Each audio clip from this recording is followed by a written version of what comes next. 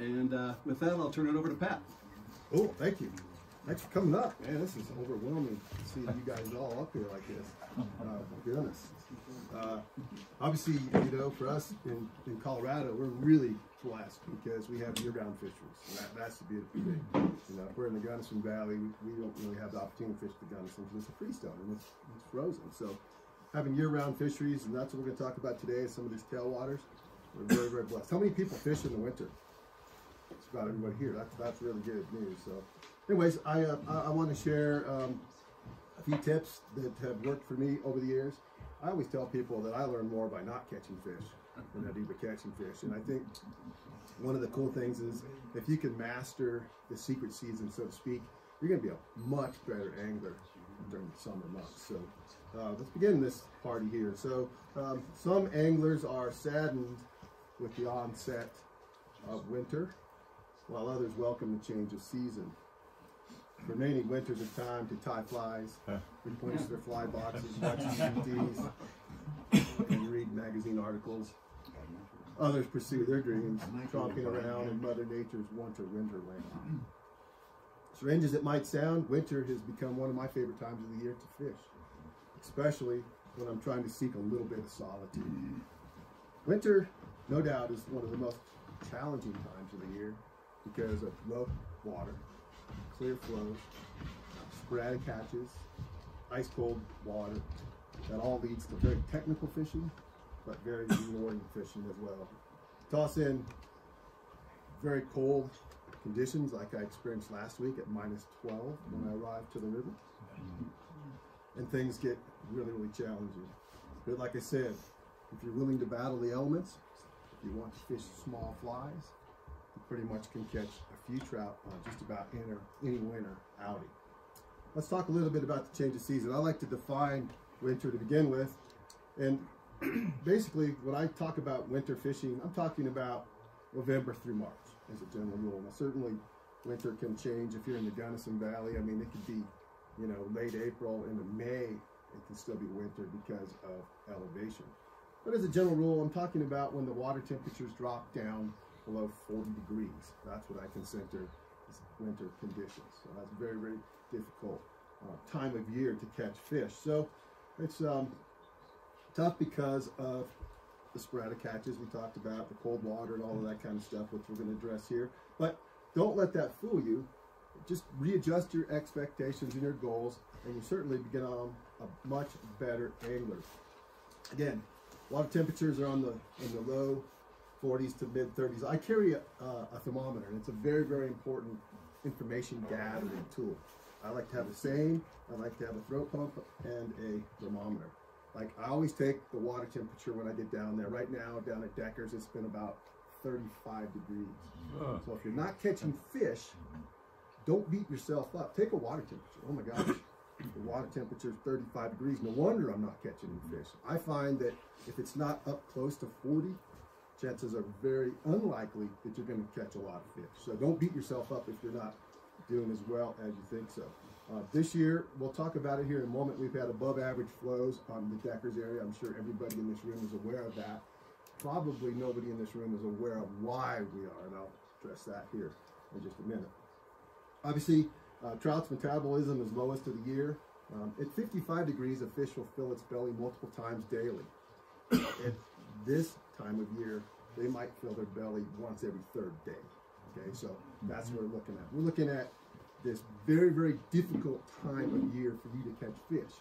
But again, it's a great time to improve your skills, mainly because of sporadic catches. Right now, with the exception of the tail race down below Pueblo, you're dealing mainly with midges. And typically you're gonna have that magic hour, maybe hour and a half, where those midges are gonna come off. It's been midday. And when those midges come off, that's when you need to be able to capitalize on those opportunities. Because they're not feeding much in the morning, they're not feeding much in the afternoon, but when the midges come off, then they're driving hard on those people. Very, very important to understand that.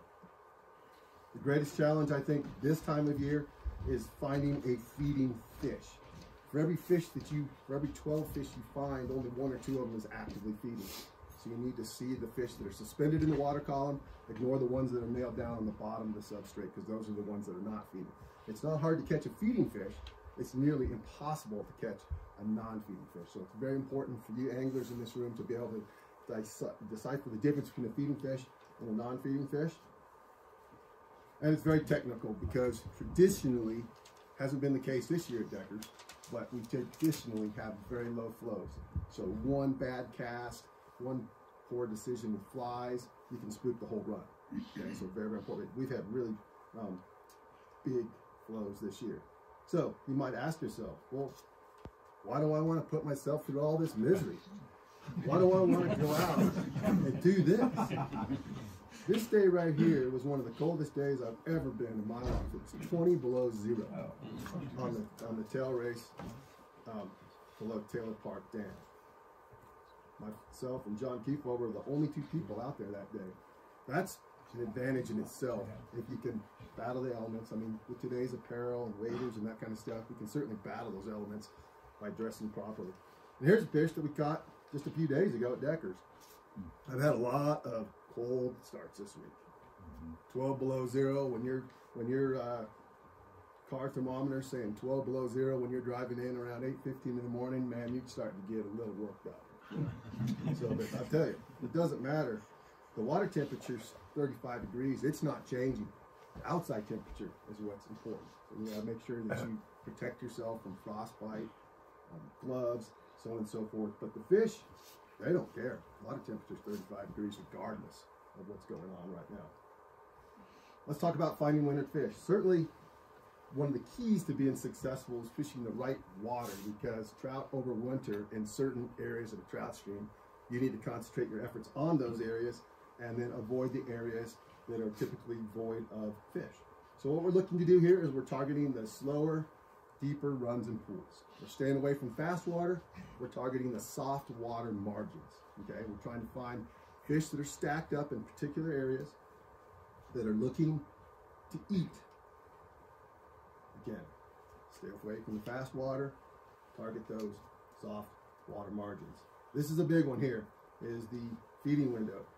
I'm amazed at times when I'm driving down to the river and I see somebody out fishing at 7.30 in the morning. I'm like, oh my gosh, all they're going to do is get cold because there's nothing going on at 7.30 in the morning this time of year. Trust me on that.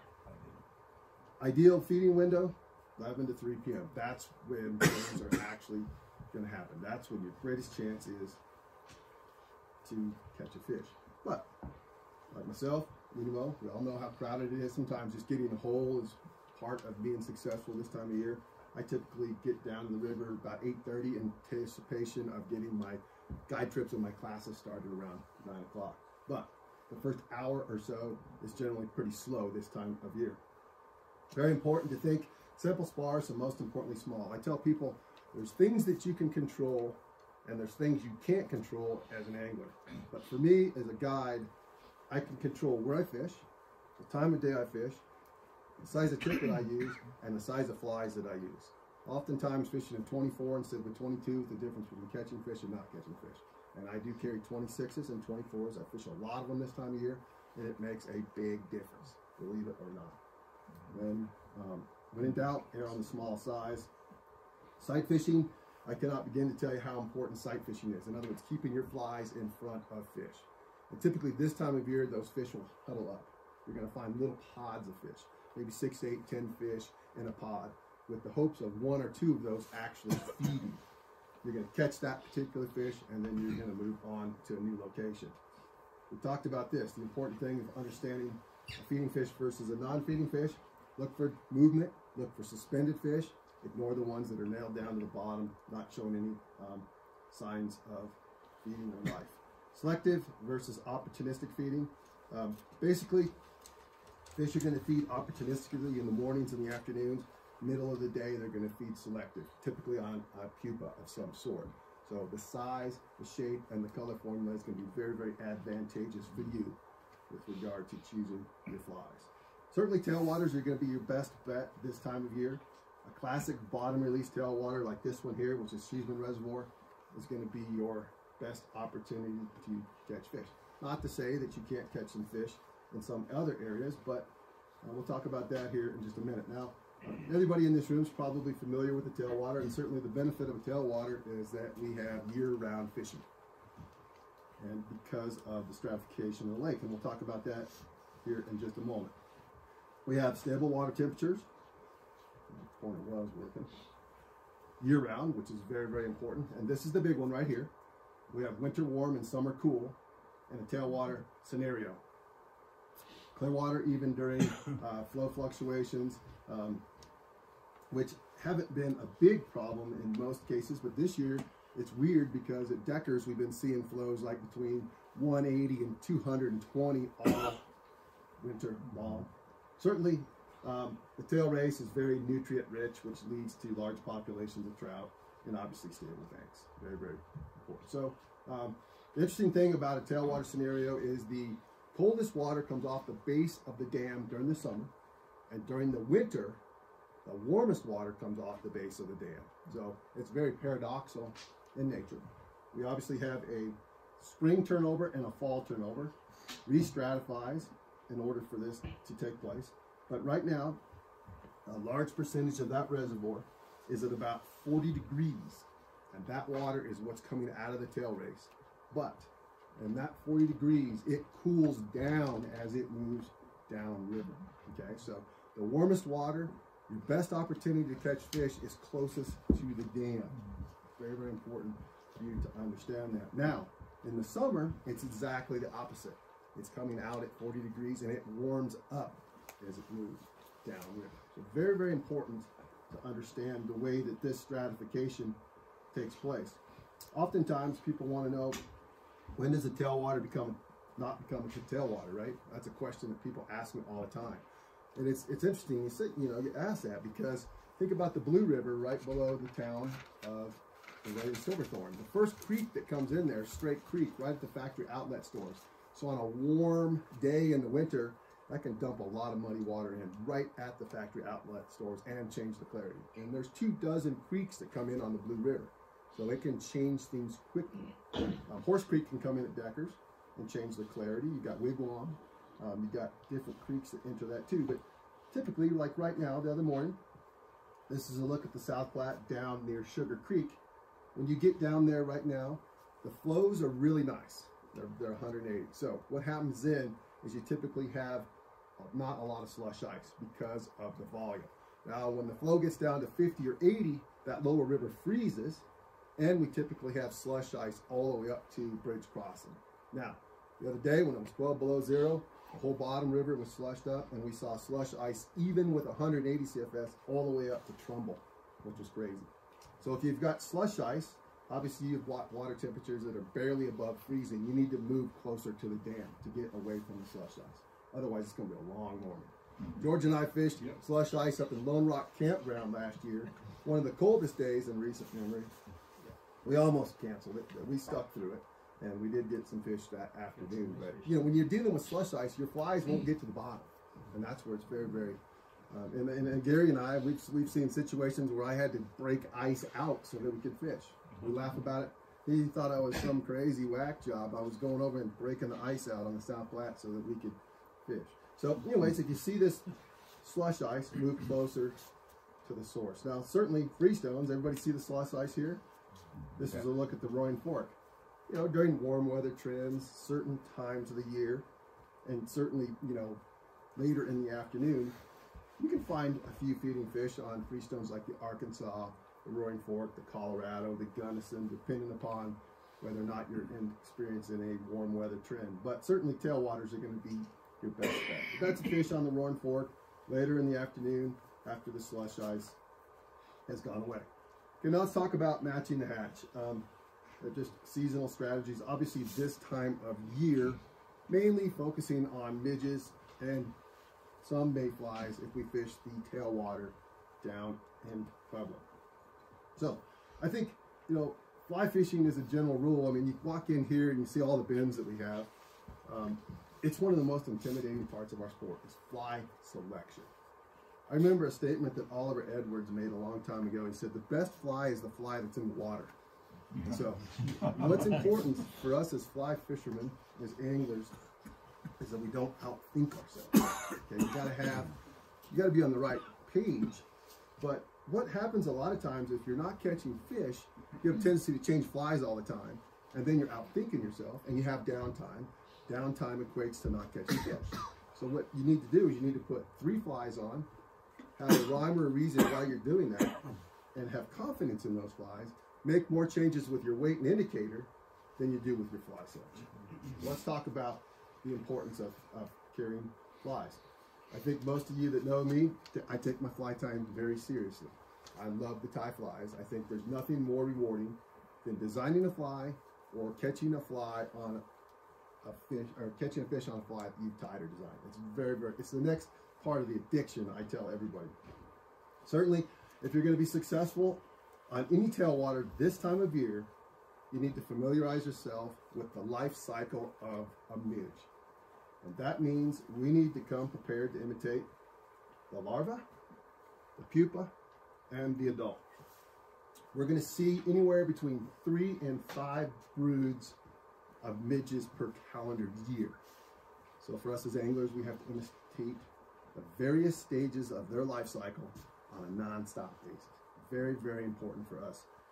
Midge fishing is really only as difficult as you make it. People tend to shy away from midges. They're, they're afraid because they're small, the difficult tippets that are required to catch them. I mean, sometimes just getting one tied on the end of your line is an accomplishment, let alone catching fish on it. But the important thing is, again, is just to get yourself, have a good idea what the larvae look like. They look like little segmented tubes. The pupa have a robust thorax that contains the wings and the legs of the adult, and the adults look like little fruit flies. And never forget that what midges lack in size, they make up in numbers. So very, very important for us to understand. So let's talk about some of the patterns that you should carry. Uh, a good healthy trout stream has typically anywhere from about 800 to 2,000 midge larvae per square meter in the substrate. That's a lot of midges. Okay, think about that. How many midge larvae are in the substrate? Typically, they're in three different colors, pale olive, red, and kind of a creamish color. Those are the three colors that you want to concentrate your efforts on with regard to imitating midges. And sizes 18 and 20. Now I say that because larvae are typically bigger than the pupa and the adults. As they transform through their life cycle from larva to pupa, they're one size smaller. And as they go from pupa to the adult, they're again one size smaller. So it's important to carry your larva a little bit bigger, tie them on longer shank hooks. Typically, again, pale olive, red, and cream. These are referred to as bloodworms or blood midges because they can live in low oxygenated areas because they contain hemoglobin, which is an oxygen carrying pigment that allows them to live in the silt, the muck, and the mud. You go to the San Juan, you go to the Yampa, these red larvae are very, very predominant. Pupa, on the other hand, the intermediate stage of their life, typically are going to be shades of brown or black. So for fly tires or when you're purchasing those, typically you'll see here we've got uh, sizes 18 to 20. A black beauty, again, you can get as detailed as you want. You can tie this pattern right here, which is one of my first patterns with Umpqua. And one of my later patterns with Umpqua right here is the medallion midge, which is very, very detailed. So you have um, very generic, very impressionistic, quick off the vise, takes a lot more time off the vise.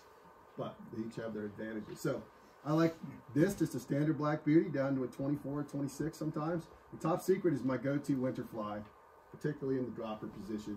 Wide gape, even in the smallest sizes, you have a pretty darn good chance of landing a fish because of the gape. Look at the gape on that fly, very, very important.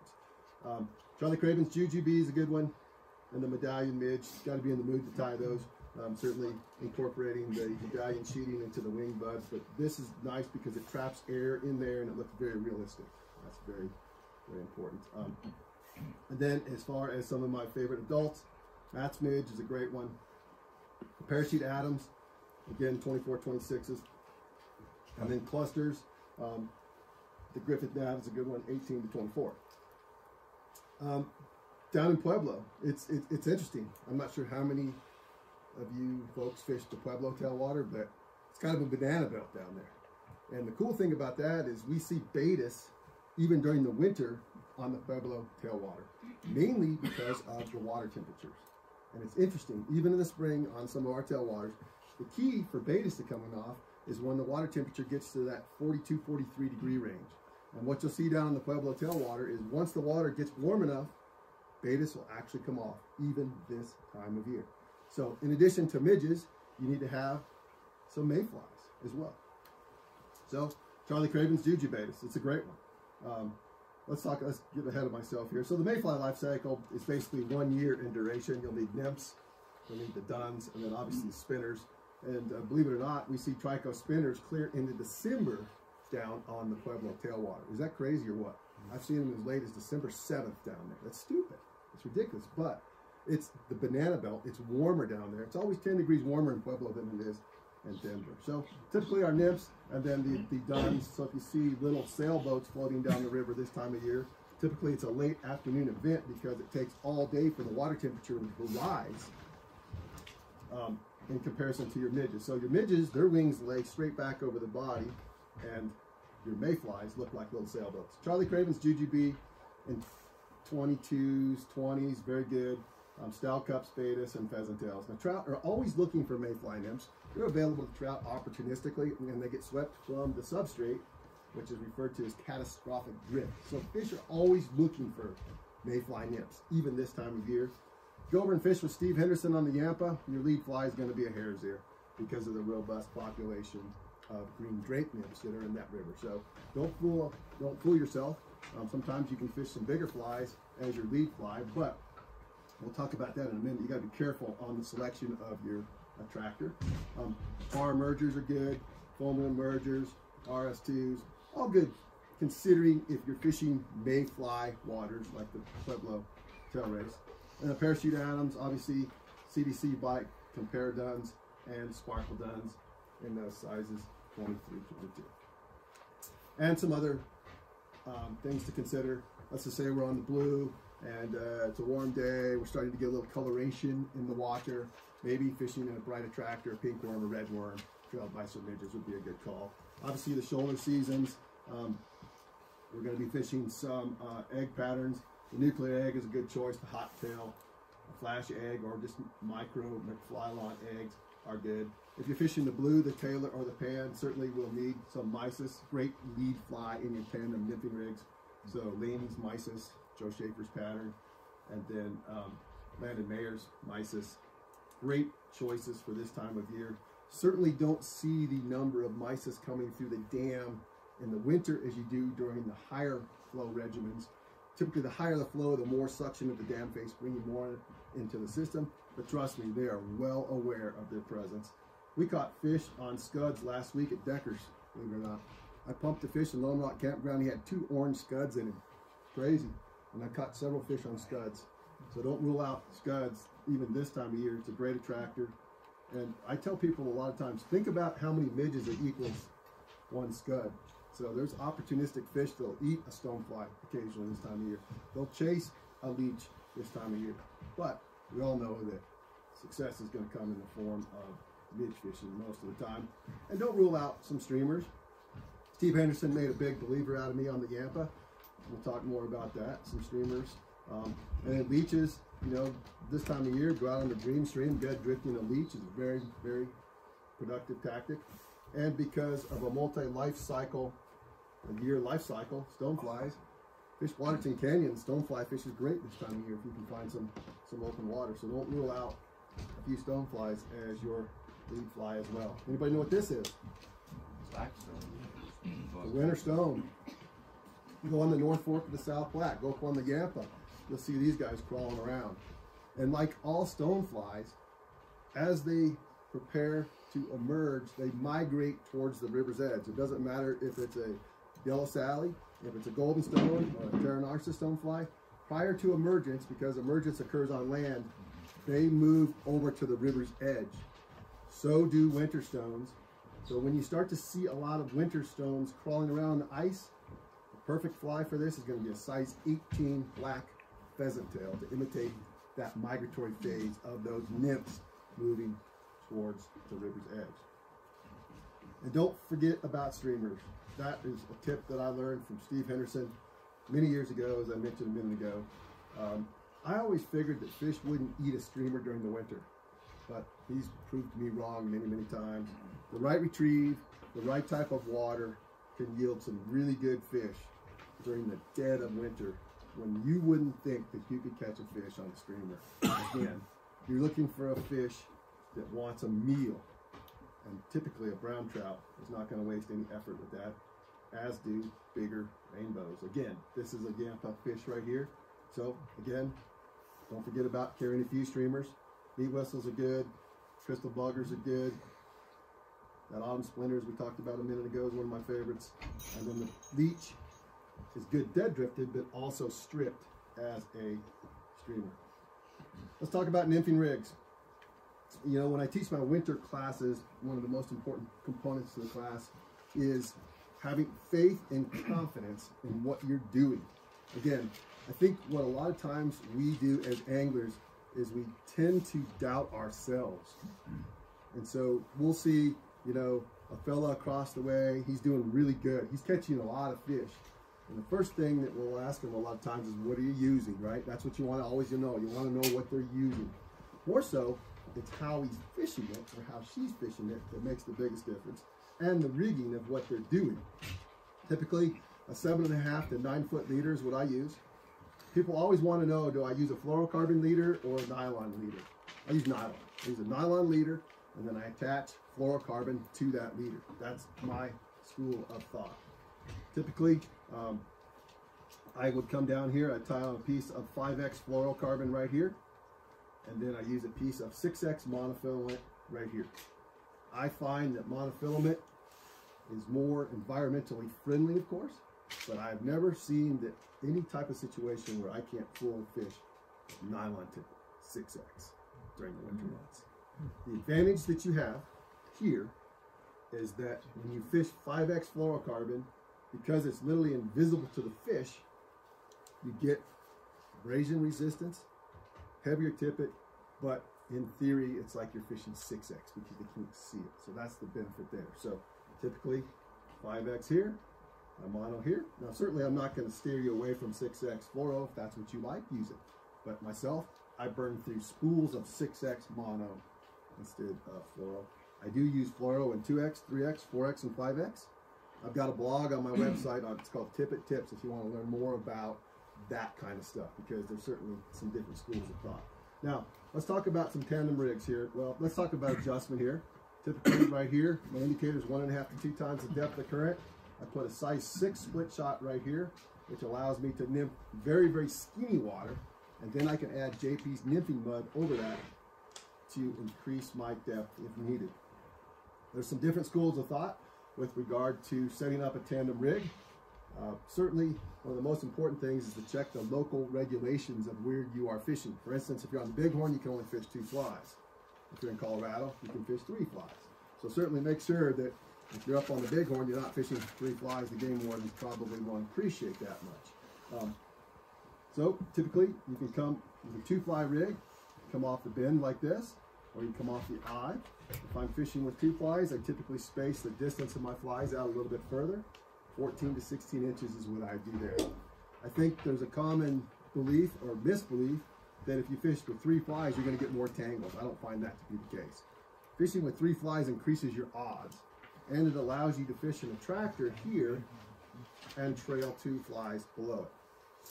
It's very important, though, that this attractor, you got to be careful because your attractor sometimes can be a red flag and spook fish. For instance, if the flow's 40 or 50 CFS down at Deckers, and I'm throwing a stonefly, I'm throwing a big bright pink worm, that's going to do more harm than attracting. So in cases like that, a size 22 Rainbow Warrior would be a better attractor instead of something big, bright, and gaudy. That's not to say that you shouldn't think outside the box every now and throw a crane fly larva because I've caught a lot of fish on that.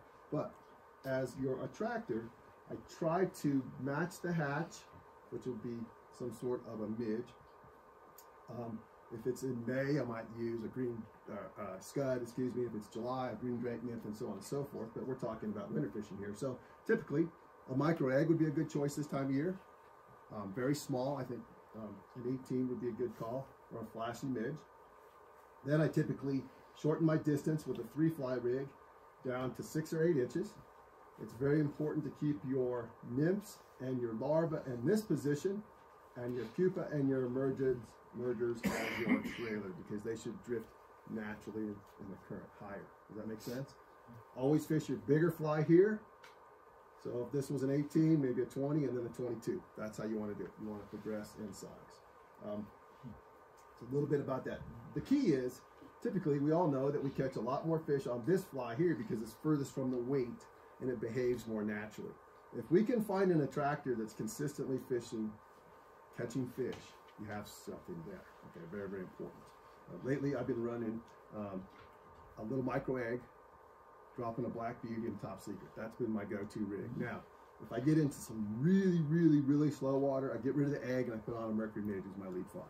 That same school of thought of small is better, repetitive casting over a fish, them seeing an egg over and over and over again is probably not going to work. But midges, they're going to be a little bit less affected by that.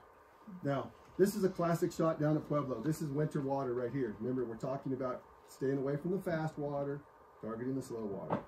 The biggest problem with this type of water here, this is winter water, this is frog water, is the strikes are very, very subtle. In fast water, everything tightens up really quickly, and we know that we've gotten a strike fairly quick. This type of a situation right here, there's a lot of times when the fish are taking our fly and we don't even know it. You might get back to lunch at noon and you tell your buddy, I haven't had any strikes all day. You haven't had any strikes that you were aware of because you probably missed about a third of them because you never even knew you had them. Okay, so um, I, I swear by yarn. I think if you fish with yarn, you're going to catch more fish. Hits the water softer, it's very sensitive, it's very easy to adjust. And that will stack the odds in your favor with regard to catching fish. Down in this type of water, the fish have a long, long time to inspect your artificial offer.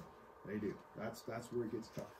Uh, sight fishing, obviously, looking for the suspended fish, looking for actively feeding fish, very important. But this yarn, it may just dimple. Again, that's some the yarn right here. It might just go like this, just a little teeny dimple, or it might do this. How many have fished on the San Juan before? The, the, the, the, the strikes down on the San Juan are so subtle, it's amazing. And if you're waiting for what I call a toilet flusher, you're missing fish. Okay? You need to be setting the hook on little dimples, little twists, little slowdowns. And that's how you're going to get fed. Let's talk about hook setting the hook. Um, the hook set should be a firm stroke, but a short range of motion, and back into the trout's jaw. If you're pulling the fish upstream and away from the trout with a 24 midge, our chances go way down. So it's very important that you're setting the hook back into the trout's jaw. So let's talk about, uh, we sell these indicator kits here at the shop. Let's talk about building a yarn indicator kit. It's a very, very easy, effective method to um, increase your odds. Uh, typically, we um, have that little pack. It's got a little orthodontic rubber band in it. And so we'll grab one of those rubber bands. You can wrap it around the forcep, or you can make a loop in the leader and wrap it around as well. Um, typically, uh, four to six times. Uh, thicker parts of the leader require less wraps. Thinner parts require more wraps to keep it in place. We'll make a loop. We'll slide that orthodontic rubber band down. Open the loop with our finger. Take some of this poly um, craft cord. We'll put it inside here. Slide it up. There's a little fluffing tool included there. We'll frizz that out. Then the most important thing is a little of floating goes a long ways in a situation like this. So I'll put it on the tool itself here, and then I will massage it into the yarn. You can vary the amount of material. You can use a little piece, you can use a big piece, you can trim it down, you can do whatever you want. If it's windy, clip it down. Very, very important. Um, and then you have the final product here. Again, super easy to move. It's tan. It won't spook fish. It lands on the water very softly, particularly in slow water. If we have suspended fish that we're trying to catch, Thingamabobber, I think, hits the water very hard and spooks a lot of fish. Again, that's just me. You know, it's like, um, keep in mind that there's different ways of doing things. I carry thingamabobbers if I'm in Wyoming and it's blowing 90 miles an hour. Sometimes a thingamabobber is a better option in those particular cases. So I always tell people, you know, it's like uh, this coach runs this offense, that coach runs that offense, but their goal is to score touchdowns. And that's the same thing here, is there's different ways of doing things. Certainly we want to stack the odds in our favor. Talk a little bit about dry flies. Certainly one of the most exciting times of the day is when we actually start to see some fish midging. That's really exciting. This is a hole down at Deckers, downstream of Deckers here. And this is one of those, it's uh, below the second bridge. Uh, typically you'll find fish rising in this hole every day of the year. It's kind of like the bend hole up above Deckers. It's one of those places that if you really look for them, you can find rising fish. This is kind of an interesting thing because a real hard seam right here, but then there's a back eddy right here, right? So back eddies present a big challenge. And you can see what would happen if we went over here and stood on this bank here and tried to catch those fish. Number one, we're going to spook them all. So here, I always tell people fish always face into the current, but the current is not necessarily always upstream. So in this particular case where you've got this back eddy right here, in theory, even though the river's going this way, those fish are facing upstream in theory. So typically what I would do is if I got midging fish here, I'd start in the back and I would work my way up there. If you cast to this fish up in here, you're going to line all these fish in the back. Very, very technical dry fly fishing, typically long leaders, 7X, size 24, 26 parachute Adams will pretty much get the job done in most cases when you're trying to attack those fish. This is an interesting shot right here of a bunch of midges. Um, so midges, they can become very, very selective during that time frame. Certainly don't forget about midge clusters. Have you ever been on the river and experienced clusters before? Pretty darn cool. And so this is a great example of midge clusters here. Um, it, it, it's amazing, um, these clusters. And sometimes, as you can see here, a piece the size of a pop, um, kernel of popcorn will break off and a whole, that fish will come up and eat that whole clump right there. It's pretty darn exciting. So that opportunities, presents opportunities to start fishing some cluster imitations. So Griffith Gnat, tied in 14s, 16s, 18s, can be very, very important. It's also to, um, important to note, right now, and I saw a couple last week, is the big spring midge. We're going to start to see any day now. And I'm not sure if you're familiar with what that is, but it's a bigger variety of midges, and they typically hatch about this time of year, late February, um, and it's a size 18. And so it's important now that we're going to have to upsize our pupas to match that food source. So it's not always fishing the 24 and the 26. Now we're going to get into the spring midge. So we're going to fish an 18 on top and maybe a 22 or 24 below it. Does that make sense? So start to look for those. And what happens is, is people see that big spring midge and they start to confuse that for a blue-winged olive because of its size. Remember, the midges, their wings go back over their abdomen. The mayflies have a sailboat. And we won't, other than Pueblo, we won't see any mayflies until late March. Very important to understand. So certainly, um, you know, very technical dry fly fishing. Uh, the most important thing uh, when you're fishing on this very slow water is to make sure that the fly precedes the leader and the tippet. So reach mends are very, very important in situations like that. Um, keeping your profile low, thin tippets as we talked about, extra small flies, very, very important. I think this is probably the biggest and most important thing. Um, when I was out two days ago, my guest for the day wanted to work on sight fishing. And so finding fish is difficult. And oftentimes I'll point out a fish to somebody that I'm guiding and they say, I can't see it. And I say, well, that's what Mother Nature intended. They don't want you to see it. They're very hard to see. It's a skill that takes a lot of practice and a lot of effort to get good at, and you have to, you really have to practice it. Um, it starts by targeting the right water to begin with. So when I look for fish, I'm looking for fish that I see on a regular basis. I'm starting in a soft water margin, just like this. And sometimes in some of the areas that I guide on a regular basis, when I don't see fish in there, it's actually a surprise to me because I know fish should be holding in those particular locations. So sight fishing begins with targeting the right water, which would be a soft water margin, and looking for those particular fish. I'm looking for silhouettes. I'm looking for shapes. Have I ever put my customer on a rock and fished it hard? Absolutely. We all have done that. We all thought there was a big fish down there and it turned out being a rock, right? You know, I've done it. I hate to admit it, but we have. Um, but most of the time, I, I, it's dead on. It's a fish. But every now and then, you know, you'll get one. I, I had a rock the other day, man. I swore it was a fish, but it wasn't. Um, but that's that's the key: is looking for pods of fish, looking for active feeding fish, looking for those fish that we have a good chance of catching. Classic winter lie here. I'm looking for six or eight fish that might be in this particular spot. My goal is to catch one or two of those fish. This is the template that I'm fishing.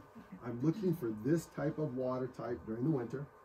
If I can catch one or two fish in that hole, I need to move to another hole with a similar water type. Because if I hook a fish or two in here and they're they're scurrying around, my chances of catching fish in that probably are going to go way down. You'll find that your first cast in any particular location is your best chance of catching a fish. And I think people as a whole, they spend too much time in one particular location.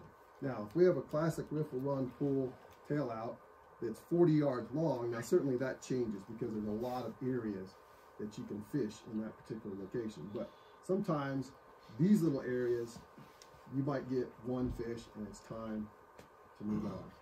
Oftentimes, sight fishing, this is special fish that was taken on the Yampa River that we worked hard and were able to catch that fish.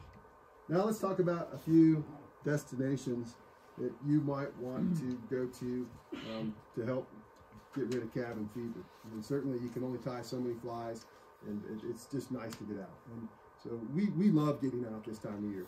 Um, lately, though, I've been questioning my sanity because it's been cold. It's been really cold. So two days ago, it was minus 12 when we got there. Um, we spent an hour and a half in the car talking about winter fishing. The heater running full blast. Anyways, South Platte Deckers is a great place to go because it has so much winter water. You can hop in your truck and you can warm up. You can take a thermos of coffee. You can take soup for lunch. Um, again, you don't necessarily have to get there super, super early. Um, but it's, it's a great place. And this is where I teach my winter classes. This is where I do all my walk wade fishing this time of year, November to March. Um, and as I said early on, you can pretty much find a few cooperative fish just about every time. Again, got to readjust your goals and expectations because you're not going to go out and catch 20 fish during the winter. If you can go out and land five or six fish, you've had a pretty darn good day. And I think everybody in this room would agree with me that more people have difficulty they get, a lot of people get skunked this time. of year. It's tough, and and, and that's one that just really leaves you shaking your head. Like, oh my gosh, what am I doing wrong? Well, again, take a water temperature, 35 degrees. How many people are catching fish? Do you see anybody else catching fish? Um, the important thing is, is don't be eating lunch when the midges are coming up. it's actually one hour that you have a chance to catch those fish. Um, you know, Deckers has got about 2,500 fish per mile, so there's a lot of fish in there. It's a, it's a great choice. Um, and, uh, you know, the lower river obviously freezes up. This is down near Sugar Creek.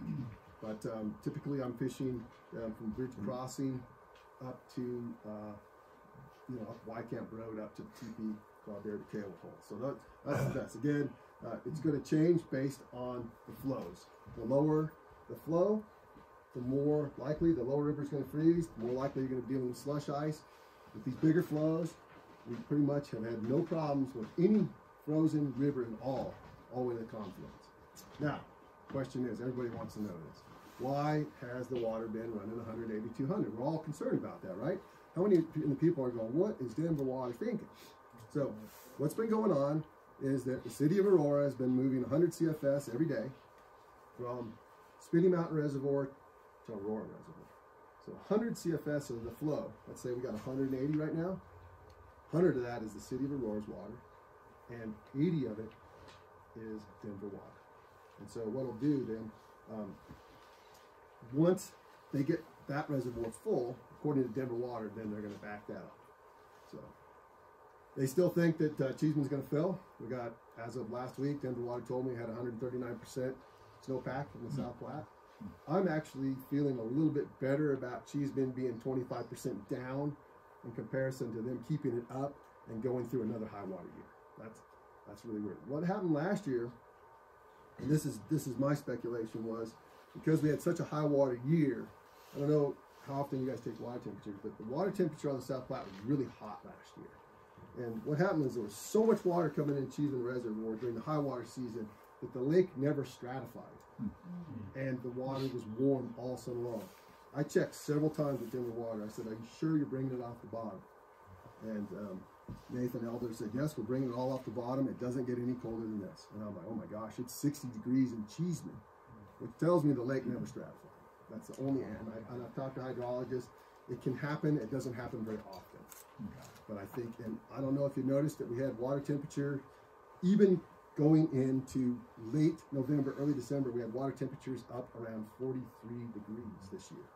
Okay, now it's obviously very, very cold. But that's just that, that for me. You know, over the years, I've built good relationships with Denver Water, and they've always been able to answer my questions and help out. And I think it's very important to understand that kind of stuff. But again, um, this is the type of water you're looking for. You know, we've got short line, precise drifts, tiny fly, controlling the things that we can control. We can catch fish during the winter, during some of the most challenging times of the year. Again, 6X, 24s, I'm not kidding you. Try fishing smaller flies. You're going to do much, much better. Hey, Um, Pat, sir, you were talking about cold air temperatures. It was zero when you got out of the water. I, know the water temperature itself is consistent, but what do you do to keep your line from freezing? Get that straw ice on the whole line. there's really not much you can do. And, I, people ask me that every day. They're like, um, what do you do? You know, there, there was a product that was called Stanley's Ice Off. I've never found anything that works, to be honest with you. I just chip it out. I just, I take it, when I get ice in there, it's just like wiggle the tip down the water, try to get it out. Be careful you don't break your tip, but they're, they're, that's just part of it. It just comes with the territory. And I wish there was something, you know, some people say, oh, I'll spray Pam on it and this, that. I mean, I'm not going to take a hundred dollar fly line and spray Pam on it. I'm sorry. I'm not gonna do that. But um, I just I chip it out. You know what I mean? I just chip it out, and it's just it's a it's a maintenance nightmare. But you got to do it, and then you know you hopefully you get above 30 degrees and you don't have to fiddle around chipping out all the ice. But um, you know it's cold, like the other day when your fly line freezes. You know when you start getting a big chunk of ice on your fly line. That's when it's cold.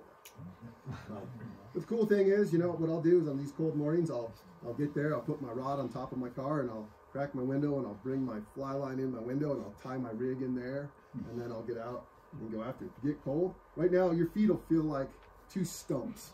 I'm telling you, feet are cold, very, very, very cold. But the water temperature is 35, so the fish don't really, they don't, they don't really know any different. You know what I mean? Um, there's some opportunities again to catch some of the bigger fish this time of year. Again, remember, as a general rule, lower flows, which opens up some opportunities to sight fish to target some of these bigger fish that we don't, we can't catch them at 900 CFS because they're spread out. Lower water, we can target some of these bigger fish.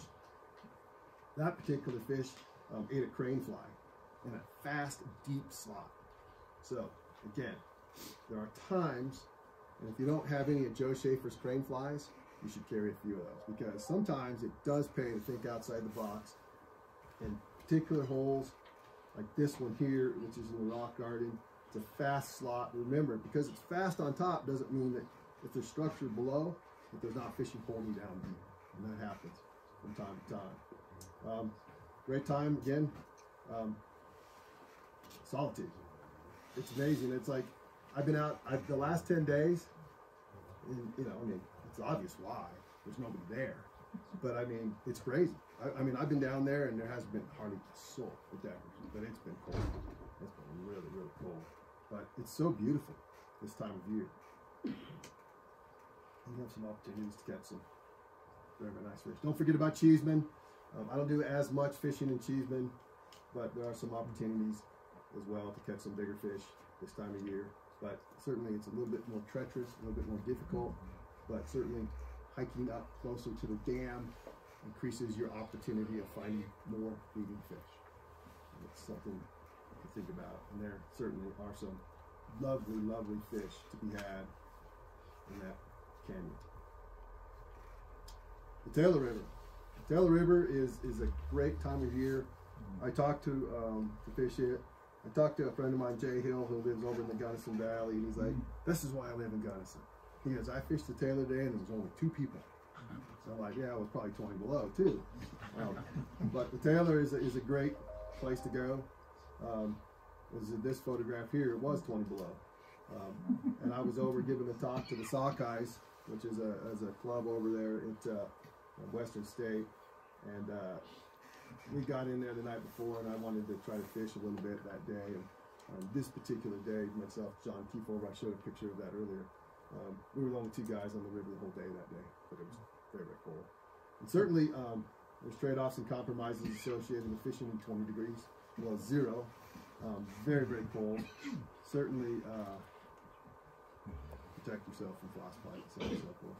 But there's certainly plenty of warm days, as we all know. Plenty of bluebird days. Um, yesterday would have been a great day to be down at Deckers. Probably a lot more people yesterday down there. I was actually off because I had to go to the dentist. But um, I uh, we see plenty of these days where we get. I had a day on Tuesday where it was 38 degrees. I mean, those are balmy. You know what I mean? You just you're loving life when it gets all the way up to 38. But uh, and there's certain days like that, or even over in the Gunnison Valley where you have those days where you have those nice days. And certainly, um, a big fat fish there. Look at all the snow. Um, that's a fish that's ate a lot of mysis in its day, right there. So typically, you know, mysis trailed by two, pupa. good choice this time of year if you're going to fish the Taylor. Uh, I, I've, I've been on the Taylor many times where I was the first person up that County Road 742 pushing snow with my pumper. I mean, they get a lot of snow in that in that valley. But again, if you uh, go out on those nasty days, chances are pretty good that you're going to definitely enjoy some solitude. This is a shot um, on the Taylor, uh, you know, the third week of May. So you can see, again, in elevation, it's still winter. It can still snow. I mean, last year we had snow in Steamboat Springs on the 20th of June. You guys remember that? 20 inches of snow. So, I mean, certainly the winter season is going to last much longer in areas like the Taylor.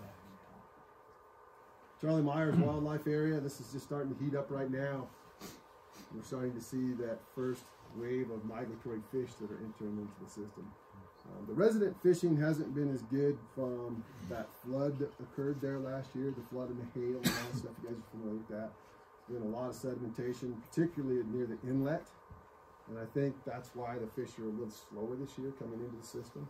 Um, but it's that time of year, typically mid-February to mid-April is when we start to see some of those fish move into the system. And we have opportunities, of course, to target some of these lake run fish. Um, so it's an opportunity to get out. Certainly it's not easy fishing, but it's an opportunity to get some of the bigger ones. So you've got migratory fish um, as well as some of the resident fish in there. And certainly um, between November and the latter part of March, there are some opportunities to catch some very impressive fish here at the Dream Stream. Particularly these migratory fish. So a lot of egg midge combos this time of year. Um, I fish a lot of red larva midge combos. That's pretty much my rig of choice out there. Uh, certainly this time of year, very, very cold. You, know, you get those, you know, 15, 20 degree wind chill factor days out there as well. Throw in the wind, and you know it gets it gets pretty pretty brutal out there. But there's again some opportunities. Um, the crowds haven't been too bad out there. Have a little solitude, enjoy a little peace and quiet. Right now, there's quite a bit more snow. Pretty much the whole um, floor of the South Park Valley is under snow right now, so they've been getting a fair amount of of snow out of there. Some opportunities to catch some nice cutties. So certainly, um, you know, two-hour drive, you have an opportunity to get some pretty decent fish. Eleven Mile Canyon, another good option in the winter. Um, the interesting thing about Eleven Mile Canyon, because it's a top release reservoir, only about a mile and a half of that water remains fishable. Have you ever noticed that when you've been in Eleven Mile Canyon, that the lower river's all frozen? Remember we talked a little bit ago about the coldest water and the tail water is going to be on the top this time of year, and the warmest is on the bottom. So being top release, in conjunction with some water coming off the bottom, it is going to be much colder. Eleven Mile Canyon is a, a very, very frigid place, just like Cheeseman Canyon. That's a lot of the reason why I don't fish Cheeseman as much. Eleven Mile Canyon is very similar because so much of it is weather locked. When I'm at Deckers, I can stay in the sun and I can stay warm. That's the beautiful thing. Is a lot of times, like when it two days ago when it was 12 below zero, I told my customers we're staying in the sun. We're not going to fish in the shade because it's five to 10 degrees colder in the shade. So the beautiful thing is, is if you can stay in the sun, it certainly helps you out quite a bit. But I had I had a guy and a gal out, and they were troopers, man. They they really hung in there for me. But uh, you know, 11 mile again, if you target your, you know that upper section, you've got an opportunity to catch some beautiful cutthroats, uh, some rainbows, and some brown trout. Again, if you can stay in some of these sunny areas, it is a heck of a lot more comfortable. And one of the cool things about 11 Mile Canyon is is uh, the opportunity to catch fish on dry flies, even in the winter. That's what I like about it. So if you really look for them, particularly in those straight shaded areas, you will find some some midging fish. They keep that road halfway decent. pretty decent. Yeah, you know, it, it's kind of like that that that road and the Deckers Road. It concerns me at times because people drive too fast. I mean, I had a guy about wreck, you know, the, the other day. I, I, on a lot of those curves, man, I really slow down because people come barreling out of there. So be careful on that. Um, they, there's some spots that can get slick at times, but uh, certainly, um, again, it's it's a great place to be, particularly this time of year now when we're starting to see the midge fishing really pick up in there as well. So mid-February, again, you're on the lookout for those midges. You'll see them. If you're going to be out on the river, you're going to start to see those those bigger midges. So a lot of Hofer rainbows in 11 Mile Canyon. They don't have the real pronounced color that we see with Deckers and Cheeseman, but these are beautiful little fish, cookie cutters, a lot of those 12 to 14 inch fish. North uh, Fork of the South Platte, um, depending upon uh, whether or not the Roberts Tunnel is on, which is, I think, Denver Water, they didn't say this the other day, but I think they're probably wishing they would have left it on this year because we had such a drought early on. It's been weird. I mean, we had no moisture at all. And now we have an excessive amount of moisture. But if the Roberts Tunnel is on, then certainly this fishery can come into play. We do a lot of winter classes down there. We do a lot of our corporate trips down in there. We have several leases on there. There is some public access as well in and around Shawnee area. You got the Jefferson County open space. Um, and depending upon how low it is, um, it depends upon the flows, uh, whether you have frozen water or not. But uh, Boxwood Gulch, where this fish was taken, has some unusually large fish. Again, it's another option um, that we provide. You can see here, um, even during some of the coldest times, we have open water, but certainly a lot of slush ice and stuff to contend with. These fish um, predominantly feeding on midges this time of year, so a lot of egg midge combos. Um, very, very effective method of approaching those fish. Again, short window, you know, the Roberts Tunnel in, many ways acts like a tailwater because the water's coming off uh, the base of Dillon Dam. Uh, natural flow is only about 20, so without that flow, this is completely uh, weather locked. Again, it's um, nice little stretch of water, enjoyable to get out, um, get your feet wet, not literally, but feet wet, catch a few fish on midges. Um, can be a very, very enjoyable time. And even late November on some of these warm days, um, you know, you gotta love days like this. Like, I think uh, yesterday, what was the temperature? It must have been about 50 degrees. You know, I mean, lovely day. You get a few of those days, you know, you have an opportunity to do some, some fishing. And uh, November, certainly, um, great time to fish streamers in that particular section with the distinct possibility of catching some very, very large fish. Nymphing obviously is one of the most productive methods. Yeah. But variety of game fish too. You know, you see brown trout, you see brookies, um, palominos, whole gamut. We talked a lot about this one now, so I think this, uh, the Arkansas tailwater is is a good one. It gets a lot of pressure. Don't get me wrong, but um, this is a great fishery um, during the winter. Uh, typically, I like flows that are in that 70 to 130 CFS range. I think that's kind of the sweet spot. Sometimes, you know, in November we can see flows up as high as 300. That's a little high for my liking, but this is a lovely little tailwater, little bottom of this tailwater. You can see right here below the dam, but um, it, it's it's beautiful. I typically concentrate my efforts from the nature center, which is close to Pueblo Boulevard, up to the dam. That, that's the particular stretch that I like. Uh, it's hard to go wrong with that nature center and that Valco Bridge section there. Um, there is a, a fair amount of um, catchables put in.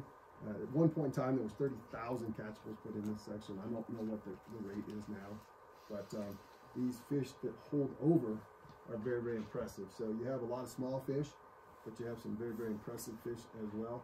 I don't think they're stocking it as much as they once were because I think there's so many fish in there, and there's obviously some very big fish in there. I don't know if you saw some of the big browns that were coming out of there this past fall. but There's some very, very large brown trout as well. So this is right around the Valco Bridge. Typically, I run a red larva and drop a couple of midges off of it. Um, we talked about mayfly hatches, tricos clear into December, olives this time of year, which you you think you're seeing things down there. Um, you're seeing olives in the afternoon, but it, trust me, it's usually going to be late afternoon when the water temperature rises up, as we discussed a minute ago, uh, to that 42, 43 degree range. So. Uh, again, another option. A lot of stream restoration work has been done in there. If it looks fishy, it generally is. Um, target the frog water again.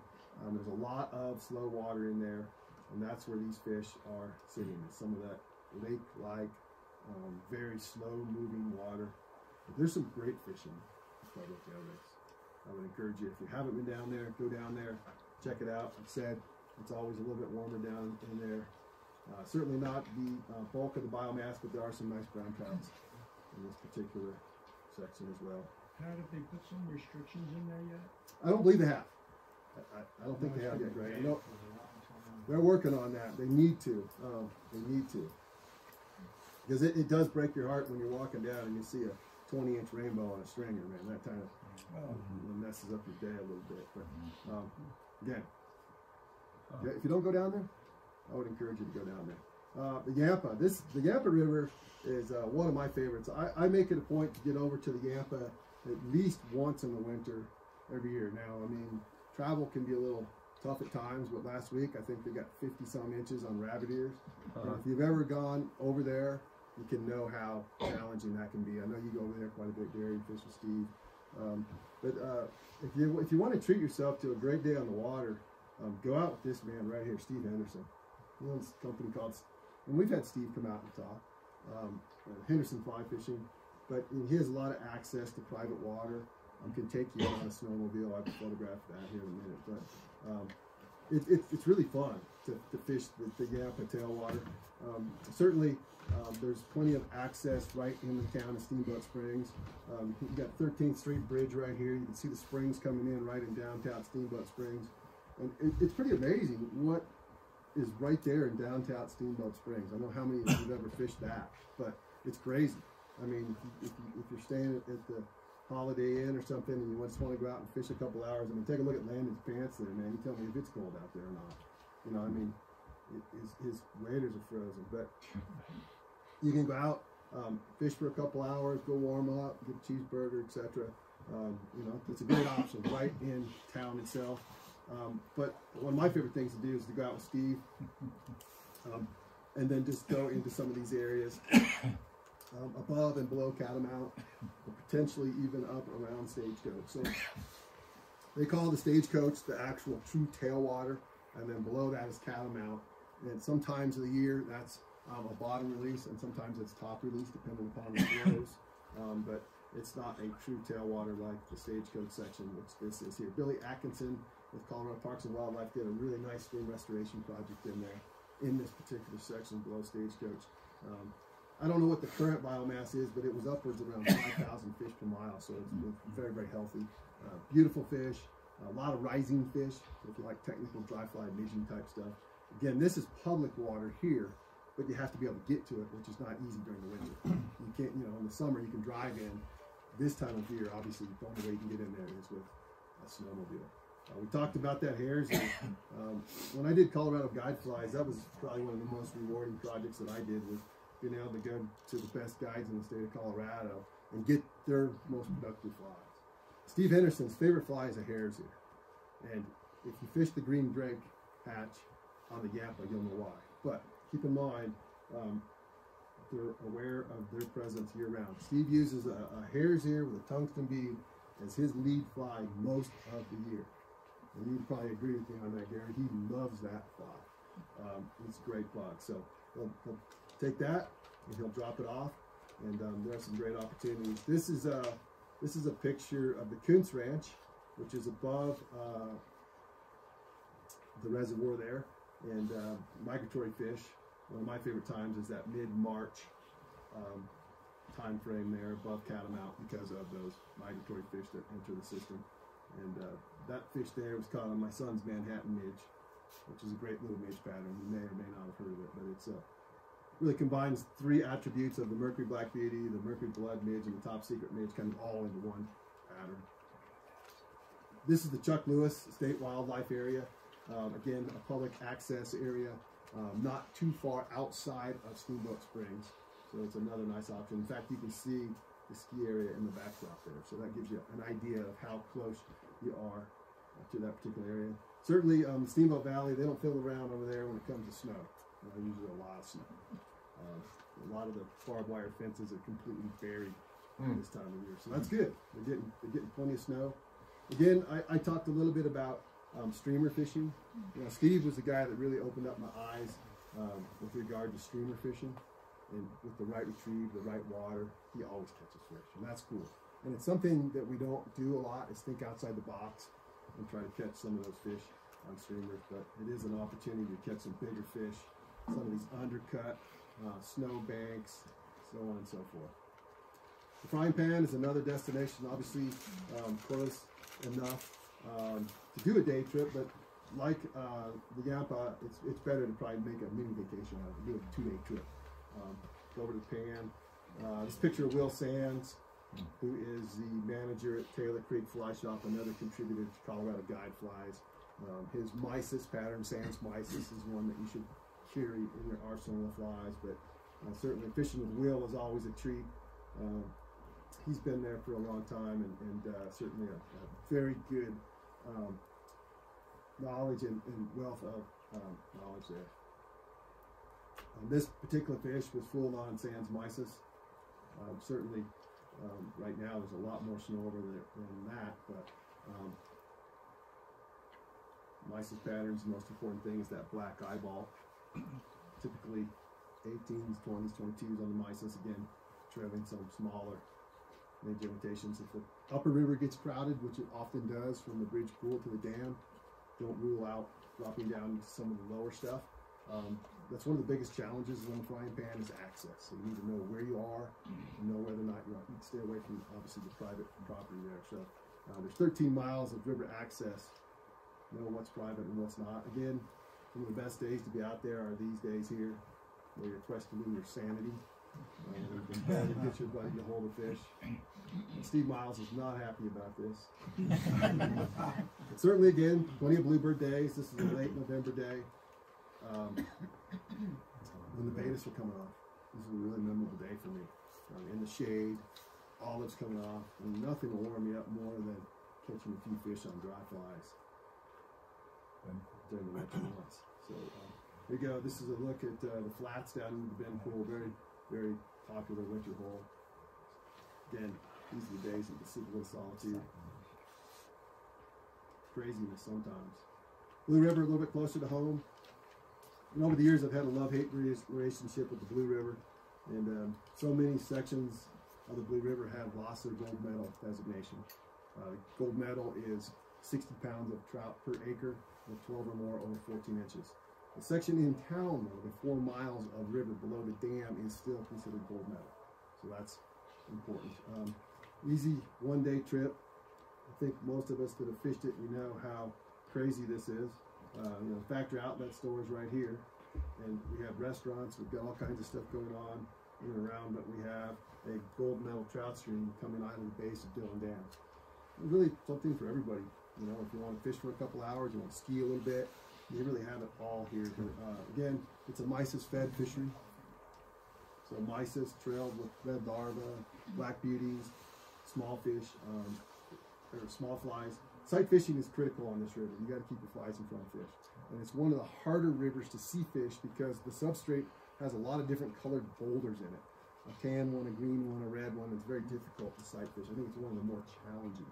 But and there's some great, great fishing be had. I mean, it's crazy. There's a run right in front of the Ford dealership there. It's one of my favorite runs in the whole area. and you'll find rising fish in that almost every day during the winter. Crazy. It's right above 7-Eleven there. Um, so there's some opportunities to catch some of these big, fat, healthy rainbows that are eating mysis shrimp. And when they're not eating mysis shrimp, they're just tailwater trout. That's what's important to understand. This is right down um, near Town Hall. A lot of times I'll park my car down at Town Hall, which is where the library and the police station is, and then I'll work my way up. This section gets a lot less pressure than up near the dam, so that's kind of a cool thing just to park here and just work your way up to the dam. There's miles of water there, as I mentioned. Some opportunities to get some, some great fish in there. As the spring season starts to unfold, um, then you can start dropping down um, towards the lower river. You know, you get Eagle's Nest, um, Palmer Gulch, and it really depends upon the time of year. You know, how much snow, water temperatures, and so on and so forth. Um, when those particular stretches are going to open up. Now, every now and then, you know, I get craziness in my blood, and I like to just do um, some some other little mini vacations. Next week, I'm going to Texas for Trout Fest, so I'm going to get to fish the Guadalupe. Um, that's fun. We'll talk about that in a second. But the Bighorn is never out of reach. Um, fly up to Billings, rent a car, drive down to Fort Smith. Uh, the Bighorn is in a bit of a challenging time. I'm sure you all heard all the negative buzz about the Bighorn. Fish populations are down to about 2,500 fish per mile, so there's way less fish. Hardly any pressure on the Bighorn right now because it's got a negative buzz about what's going on. The fish are big up there right now, so when you have fewer fish, they tend to get bigger. And uh, you know, I'm pretty good buddies with the guys up at the Bighorn Trout Shop, and I just saw them at a trade show last week, and I said, "What's going on with Bighorn? I mean, don't don't BS me. I want to know, you know." But so way fewer fish from a series of high water years, but just like the Blue River, you only need one fish at a time. That's the way I tell people. so Bighorn is a great fishery in the winter, like I said. Um, driving can be a little bit iffy this time of year. If you've ever been up there going through um, Wyoming, Casper up to Sheridan, that can be a little bit nasty during the winter. But uh, classic winter fishery, particularly those uh, three miles um, from the after bay down to that three mile takeout. So um, there's some walkway access as well as um, drift fishing. And I've seen some really, really good um, dry fly opportunities in this particular stretch of water uh, during the winter months. Lovely, lovely stretch. Um, the Guadalupe, uh, I'm not sure if you've ever been to the Texas Hill Country, but it's another option um, that I really enjoy if you're looking to do something a little bit different. Um, place that I really enjoy. Um, go out with Chris Johnson, a lot of fun. Spend day out there. I take my wife out there every year.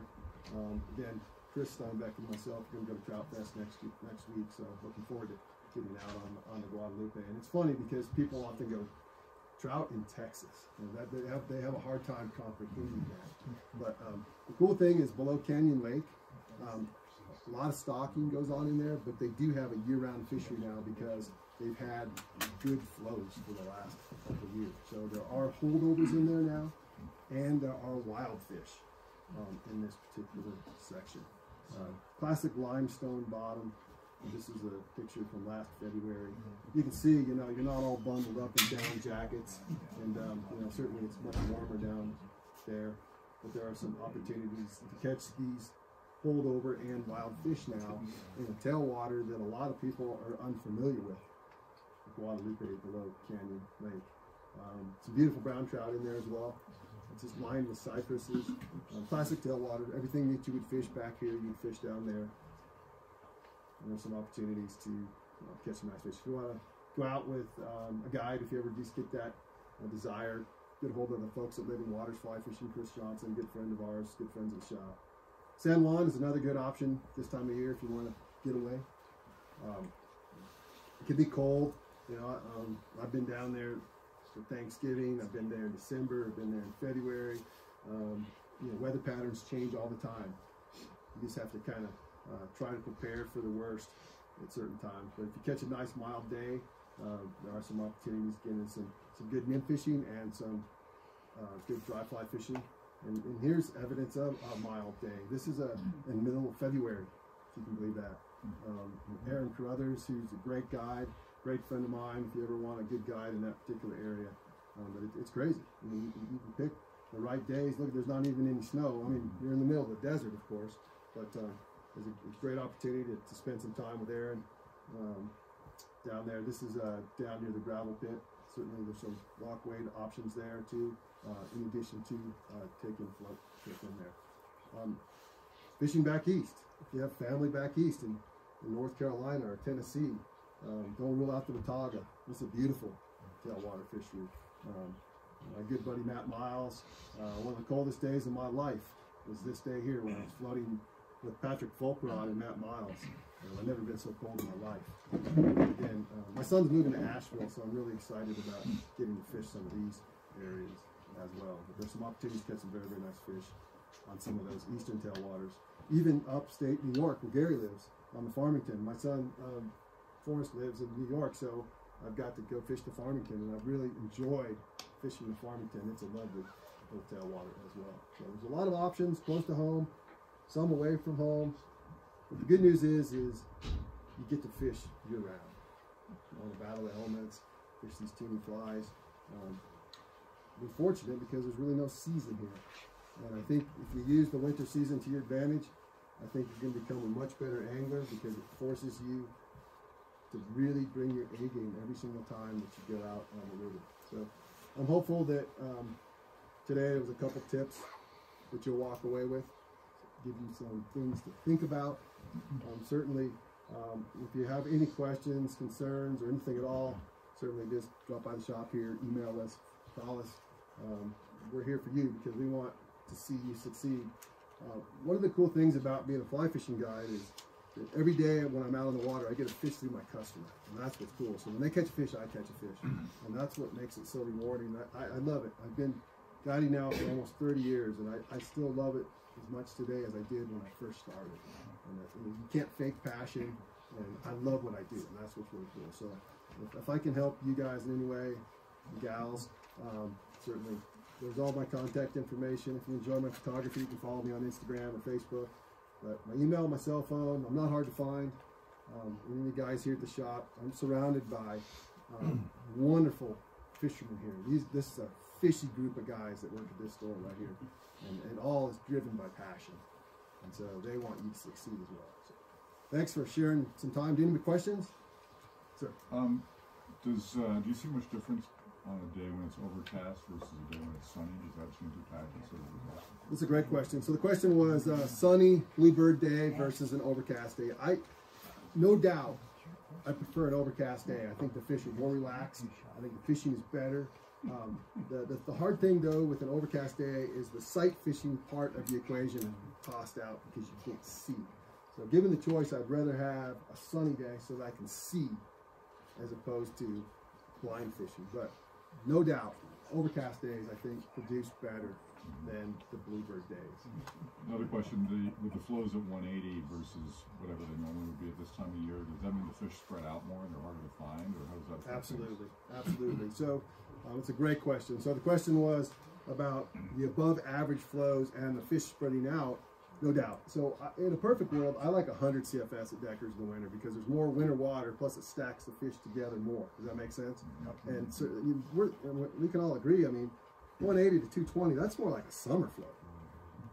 Maybe a late summer or early fall flow. Um, higher flows means less winter water. It's harder to find those slower, softer margins, no doubt about it. So um, I suspect uh, with all the, the low level moisture that we've gotten in the last two weeks, I would expect that uh, Denver Water and the city of Aurora are going to begin to start to ramp those flows down. I think we're going to start to see flows getting back in that 80 to 100 CFS range soon.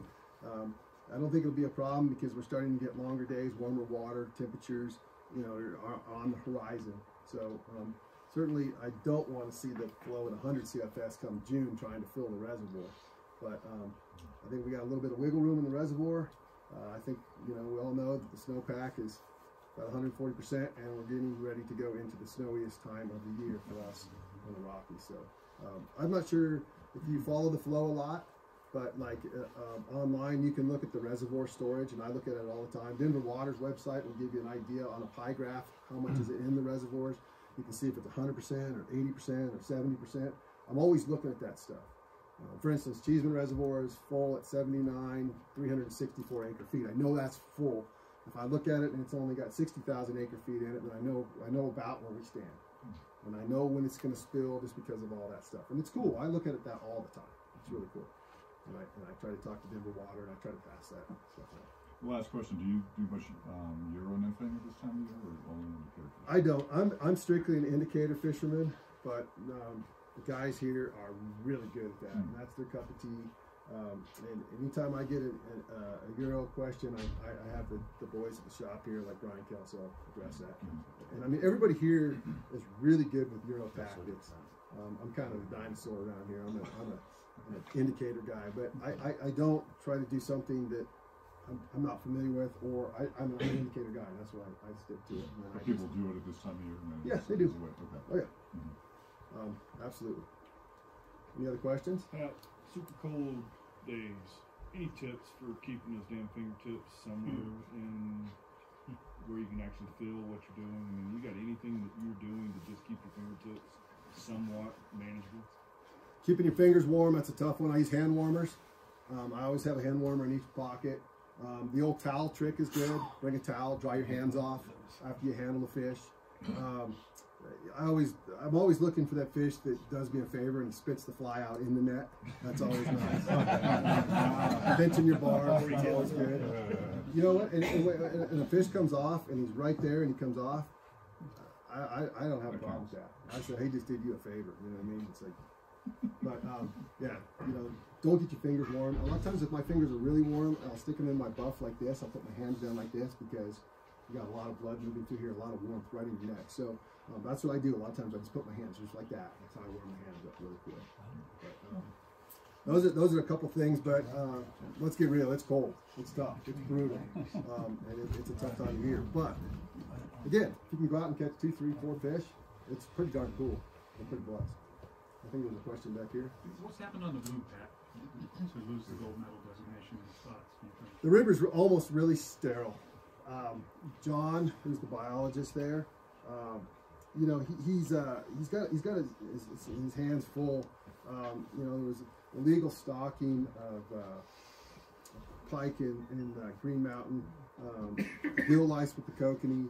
Um, the blue is just certainly lost his designation, um, but they're going to try to get that to come back. That's a goal of his um, as is the Williams Fork, because he's that biologist out there. But just, I asked him that this fall. I said, "What's what, what's going on with the blue?" And he said, "It's just sterile. You know, it's a tough river. It's a lot like the North Fork. There's just not a lot of aquatic life. Um, and um, you know, it, it's uh, when you really look at the blue." It's either flowing at 100 CFS or 2,000 CFS. Have you ever noticed that? And so it's never really ideal, and that's a big problem um, because it, it's more so a water conduit um, than it is a, a trout fishery. So um, that's a big problem. But the blue, um, the blue is one of my favorite fisheries. And um, you know, you got the migratory component coming in the Green Mountain. Um, certainly, there's still fish there, but it's not as good as it was back when I grew up. You know, back in the 80s and early 90s, the blue was amazing. Great, great river. Um, but no, don't give up on the blue. I think we're working towards um, improving it. Um, certainly, the, nice thing, like what's going on with Bighorn now and what's going on with blue, is um, you know you can go down to Palmer Gulch and there might be one or two cars down there, and you can still go catch half a dozen fish, and but nobody else is around. And that's that's there's something to be said for that. I think. um, hopefully that answered your question. Yeah, but, um, I'm, I'm, I'm fortunate, you know, that I got to know John Ewert pretty well on the Williams Fork um, restoration project. He probably, um, I got on him a little bit about that one, but we got to know each other pretty good on that one because they did that big restoration project last year, and that's when I had an opportunity to ride up there with him and, and talk about that stuff. You know, it was cool. So How'd they do? the restoration. Yeah. The jury's out on that one. Certainly, uh, from a biologist standpoint, I think he's done a good job. He's created a lot of habitat, specs, particularly for the winter. I think so. We'll know they're going to start stocking Hofers in there real aggressively um, next spring. So that should come back as a, as a rainbow trout population. How's the Blue River below Green Mountain? Uh, pretty good. It's a decent fishery. Um, certainly very flow dependent. Um, short wedge below the dam itself. Um, tough place to go this time of year. But, um, you know, if the flow's less than three hundred, it's not a bad place to be. Pretty, pretty decent brown trout population. I saw that question. Yeah, slightly off topic, but still fish fisheries related. But when, when do you recommend going up to like um, um, Waynes Fork Ri- um, River that flows into the confluence of the Colorado up there? Have you fished up there before? It, uh, this time of year, I think Mr. Diggs just, oh, he's still over there. Remember that trip? Remember that trip, John? We went in there in February? We went in there in February and, uh, there was three feet of snow in that. And, you know, it was one of those deals where you'd walk three steps and poof, up to your knee, you know, and you're like dying getting in there. But we got in there and the fish, fish were boiling, and I am not exaggerating, rising on midges in mid-February. Okay. Boiling. It was snowing, we were catching them. Yeah. So it's actually pretty good this time of year. It can be very good this time of year and it gets very little pressure, but getting in there is the biggest challenge. Snowshoes is not a bad idea. It's like a mile hike from the park. Yeah, you definitely would, best bet is to come in from the partial area and, and walk with snowshoes up into there, and once you get to the river, it's not a problem, but, yeah, it's pretty good. Now, keep in mind, above the confluence of the Williams Fork, it's frozen, Yeah, and it's only open for a short distance right. down. It's, Colorado's more like a tailwater at that point. And then another question for you: When when does the sandfly hatch usually start on the Colorado River? Depends upon what to, what part. Um, you know, it can be the third week of May on the lower river. Bob Dye is probably your best bet to talk to about that. But um, everything, and then it can, and it just moves its way right on up. Everything can vary um, based on uh, water temperatures, um, flows, and those kind of things. And, and the salmon fly is one of the hardest things to hit. Yeah, You know, you can hit it on June 5th, it's a rumor. And you book the trip next year for June 5, and then it's early, or it's late, or whatever. It's really hard. Very, very short we have the time. rut. You just need to, when the bugs are on the water, you got to be able to go. That's the best thing on salmon fly hatch. It really is. Bob Dines is who you said. Bob Dye's our lead float guide, and he wrote the book on the Colorado River. literally. Okay. So Okay, that'd be your best bet. Yeah. Any other questions? Sir. So when I fish with the real small dries, I have a hell of a time seeing them on the water. I just don't see well. Usually I'll put a bigger fly as an attractor. Do you have any rules of thumb or guidance on how large an attractor might be before it's too big and would turn off fish?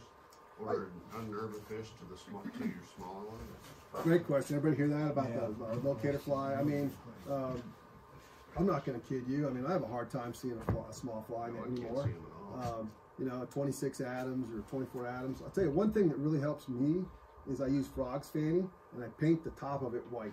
So even like a 26 Adams, if I paint the top of it with frogs it, I can see it. Does that make sense? It's got the little applicator brush and that works very, very well. Now, getting back to your question, a size 16 or an 18 high vis Griffith gnat with a bright cerise pink post is perfect for what you're describing and what I would call a locator fly. Okay, so I mean, it's a, it's just something that I can see. I trail my smaller fly behind it. If anything rises around my locator fly, I'm going to assume they took my fly. And size 18 is perfect. And you'd be surprised. I, I've I've had that happen before. Um, I can remember one time I was on the Bighorn, and I was in the middle of a Baetis hatch, and this is a little off topic because of the time of year, but I was in a very high glare situation, lots of duns in the water, but I couldn't see my fly. I was having difficulty seeing my fly because of the high glare situation. So I've been tying um, parachute, high vis parachutes in my uh, tying demos, and uh, in a size 16. And so I did it because I wanted my people that were watching me tie to be able to see the fly better. And so I just took that locator fly and I put it on it, and then I had my sparkle dun behind it. And they kept eating the size 16 parachute. It's crazy. I only had three of them with me. And I had three buddies with me, so that was was but, um, but anyway, so I went home and I tied a bunch of 16s. But you know, I'll have them come up and eat a size 18 Griffith gnat. It's not too big that they still won't eat it as a cluster. You know what I mean? So, and if you if you've never uh, thrown one of those, um, they're very easy to see, even even in foam mats and high glare situations.